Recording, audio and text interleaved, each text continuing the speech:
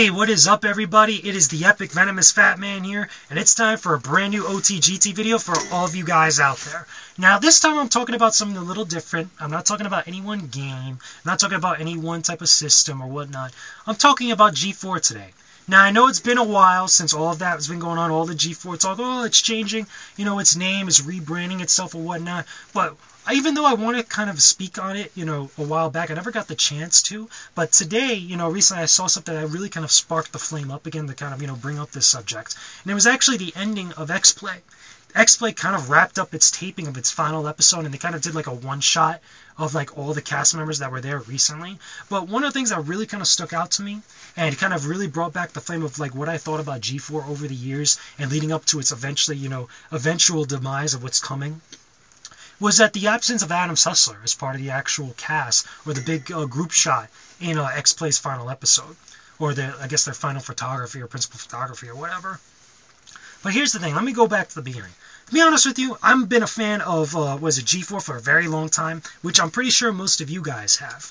G4, you know, was the gamers network for the most part back in the day. This was the network where if you were a fan of gaming or even if you were just an otaku in general, a lot of the good gaming related stuff would be found on G4. Your RPGs, your Japanese RPGs, you know, your first person shooters, your fighting games, your action games, some of the biggest AAA titles, or even some cool stuff from way back in the day, the old school, could be found on G4 in some form or fashion. Some of the best shows on there, you know, including X Play, even back when it was still known as Extended Play, Judgment Day, anybody remember that with Victor Lucas Tommy Tallarico. Arena, which used to be the competitive gaming, you know, show for people that were, you know, really into competitive gaming and actually, you know, tournament play. And Cinematech and Icons, if you guys remember those shows, those were some of the best shows from back then. And I thought it was really kind of like the golden years for that network, even when it was still known as Tech TV.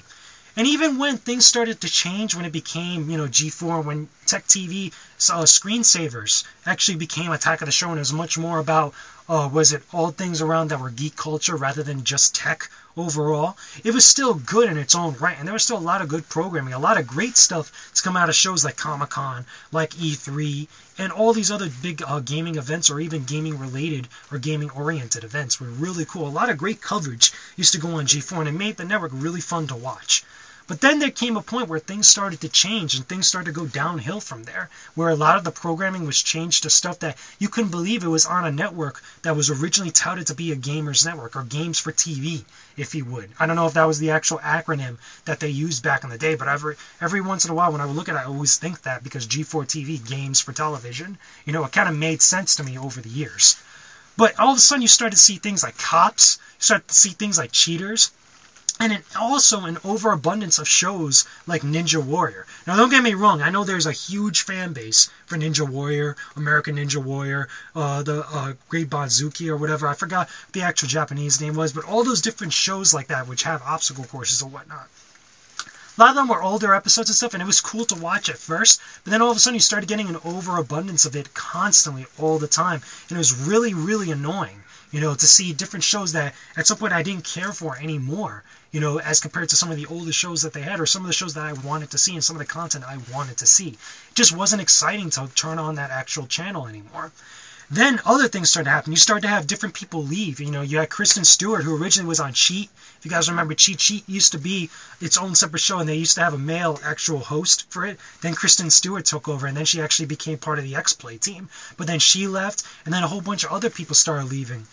But by far, outside of like someone like Kevin Pereira, who got a whole party for E3 when he left G4, you also had Adam Sessler, which I thought was like the final nail into the coffin for the network. Because let's be honest for a little bit. I'm an Adam Sessler fan, and I've always enjoyed his work, even back when he was still part of Extended Play back in the day. But I always thought that a lot of the people that watched G4 and a lot of the people that watched X Play and a lot of those shows was mostly because of him because not only was he a great on-screen personality to watch and he was funny in his own right at times he also had the intellect and the knowledge about gaming and it uh, was it the ability to articulate his thoughts about video gaming his opinions about the industry. But also at the same time he also did things for the network or just did things for gamers in general that were unprecedented that were really you know bold moves that really when things and you know the kind of the stuff hit the fan he was the one to step up about it. Do any of you guys remember the stuff that happened with Fox News Remember with this whole kind of controversy with Mass Effect, and they were talking about how there was actual, you know, interactive sex and stuff. Adam Sessler was the only real one that kind of spoke out of it. I know that Geoff Keighley had actually gone on Fox News to actually kind of debate about it, but it was almost kind of lackluster in the sense that he never really got a chance to articulate his thoughts. Yet, uh, at some point not too long afterwards, Adam Sessler was able to come out and really kind of put, you know, uh, was it the smackdown on the whole kind of, you know, uh, I want to say ignorant thinking that was going on with some of those individuals at the time in regards to Mass Effect. Do you guys remember the whole thing with Jack Thompson? Everybody that's a gamer remembers Jack Thompson, the biggest villain to gaming at some point, where he was really kind of, you know, going out against Grand Theft Auto and violent video games. The only other person that really kind of stepped up to the plate and debate about him and actually talk about it was Adam Sessler. And I always thought it was amazing, amazing outside of all the different things that he did, that at the point where he finally left, that it was treated as such a haphazard leave, or uh, was it kind of like a parting of ways, that to the point where it was like it was no big deal that Adam Sessler was leaving G4. Someone that was there for so long and so prominent in what he was doing for gaming almost had to end just as uh, quickly as he started, which kind of sucks because let's be real. Okay, Kevin Pereira, you know, a lot of people are fans of Kevin Pereira, you know, with Attack of the Show, and it's great what he did in his own right. But at the same time, you know, he didn't do as some of the things that Adam Sessler ended up doing down, you know, over the years or whatnot. I know they've been in with the network, you know, for almost as much time. But if you look at what was done in the resume, you know, it kind of almost seems like, you know, the one who really should have gotten the party at E3 was Adam Sessler.